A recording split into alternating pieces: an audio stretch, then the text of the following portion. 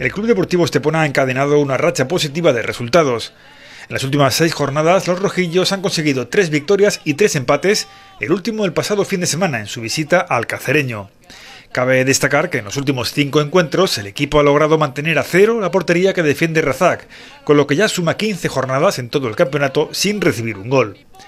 Los de Manel Rubano son séptimos en la tabla de clasificación del grupo quinto de Segunda Federación, cuando solo quedan cinco jornadas de liga, hay todavía 15 puntos en juego y el Estepona está a solo dos del quinto, la gimnástica segoviana, equipo que actualmente ocupa la última plaza que da derecho a disputar la fase de ascenso.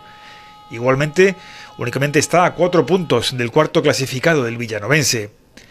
Por delante, el calendario del Estepona incluye tres partidos en casa contra el Diocesano, el Guadalajara y el Atlético de Madrid B, y dos fuera frente al Socuéllamos y la Unión Adarve.